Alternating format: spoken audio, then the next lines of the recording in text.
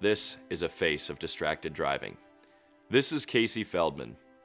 Casey was a daughter, granddaughter, sister, niece, cousin, and friend. She was kind, caring, had a great sense of humor, lived life to its fullest, and was loved by many. She was so funny and so vibrant and so beautiful in every way. She was smart, she was intelligent, she had goals for herself, she was really grounded, and she was someone that you knew would grow up to be somebody special, somebody important to other people. Casey's life ended on July 17, 2009. She was struck and killed by a distracted driver while she was crossing the street in a crosswalk. He had taken his eyes off the road for just a few seconds.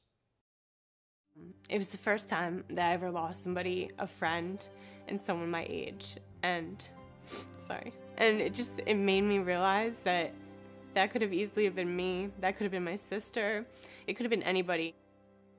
Before Casey's accident, I would I drove distracted and like I would let people who were driving me be distracted. I know in high school, rushing around to activities, I'd be eating in the car and doing makeup in the car. I actually wrote a speech in the car once. I was changing the radio station um, while backing out of a parking spot and I hit a utility pole. I would take my eyes off the road to do makeup, to text message, to use my phone. I think definitely as a teenager, when you're first driving, you do feel invincible and driving can become a secondary task to whatever you're doing. You're basically operating a weapon. I think that people need to realize that they're operating something that has the power to change like thousand lives. No matter what it is you're trying to do in the car, it's not worth it. When you're driving, you are not, it's not a secondary task, it is the only task you should be doing. We must learn from Casey's death that as young people, we are not invincible. And we learned that it just doesn't happen to other people. It happened to Casey, someone that we love and miss very much.